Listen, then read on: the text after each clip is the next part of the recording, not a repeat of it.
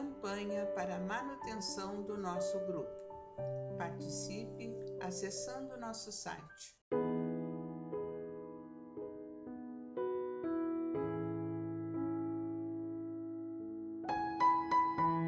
Olá, sejam bem-vindos à leitura do livro Espírito da Verdade, é recebido através da psicografia de nosso irmão Chico Xavier e Valdo Vieira por espíritos diversos.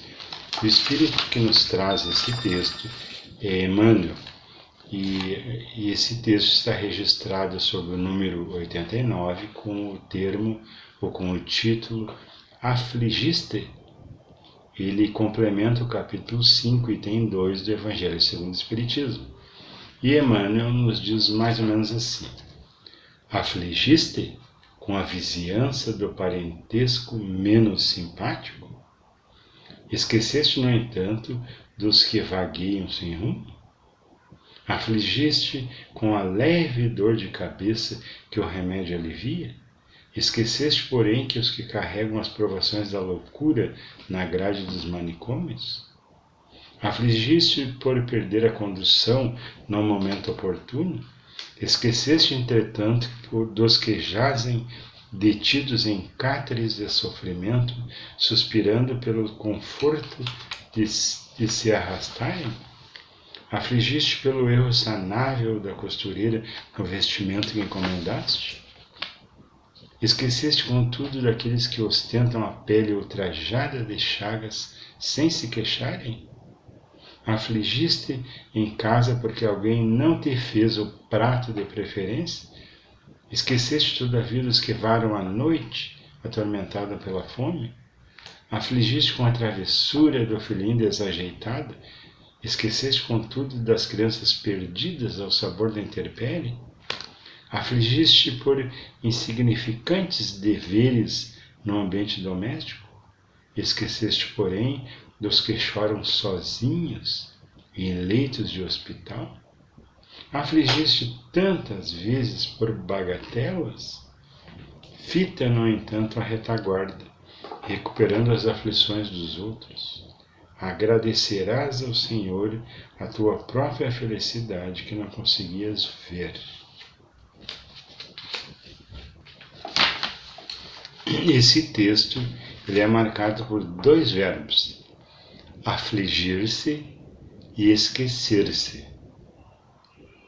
O que, que nos aflige normalmente?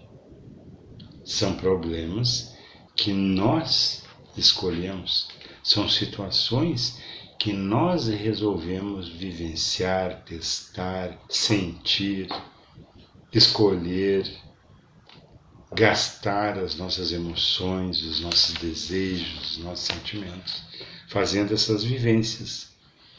E, e esquecemos que todas essas aflições são escolhas nossas e que, ao mesmo tempo, irmãos nossos estão também mergulhados nessa caminhada de escolhas infinita, infindável, através das rotas reencarnatórias em que empreenderam. Já disse Emmanuel em certa feita que nós já reencarnamos em todas as latitudes do planeta. Já vestimos todas as indumentárias de todas as culturas. Já falamos todos os idiomas do planeta. E ainda afligimos? E ainda esquecemos? O que está faltando então para a gente parar um pouquinho, respirar fundo e entender a realidade das nossas aflições e parar de olhar para o próprio umbigo e produzir alguma coisa que não seja energia negativa, que não seja parar, estacionar em alguns locais que só vão causar mais aflições. E às vezes nos esquecemos por lá, às vezes perdemos um tempo infindável reclamando contra os outros, contra Deus, contra o próximo. E como diz uma familiar minha, a culpa é minha. eu ponho em que eu quiser. então, notem que, inclusive, a culpa a gente esquece de procurar nela a nossa responsabilidade. Notem que a gente precisa ainda crescer muito. A gente precisa ainda muito de olhos de ver, ouvidos de ouvir. Porque até para amar, a gente tem que aprender a ter responsabilidade. Às vezes, o nosso amor declaradamente é, é feito, é uma agressão às pessoas que não, acostumam, não estão acostumadas a isso.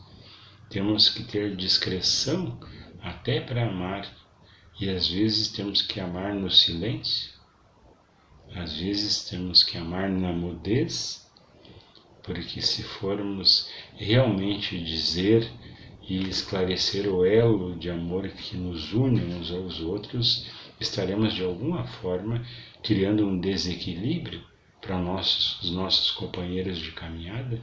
Então, até para falar de amor, temos que ter uma certa responsabilidade, temos que ter uma certa maturidade, porque senão estaremos criando aflições para nós e aflições para os outros. E necessariamente vamos ter que parar de nos medir segundo a, ou de medir os outros segundo a nossa compreensão, segundo a nossa, a nossa percepção, segundo o nosso entendimento. Então, temos que ter olhos de ver e temos que ter ouvidos de ouvir. E temos que, de alguma forma, depois de tanta aflição, de tanto esquecimento, a gente tem que cair um pouco na realidade e assumir a responsabilidade na caminhada evolutiva que cada um de nós tem que fazer. É responsabilidade nossa, não é do outro, não é de Jesus, não é do Criador.